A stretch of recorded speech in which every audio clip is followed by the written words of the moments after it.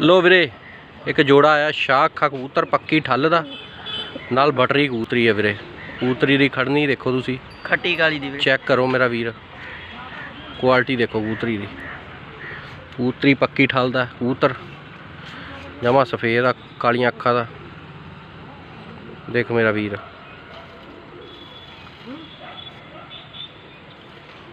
Quality ਦੇਖ ਲਓ ਮੇਰਾ ਵੀਰ। ਚੰਗੀ ਤਰ੍ਹਾਂ ਸ਼ੌਂਕ ਕਰ ਲਓ।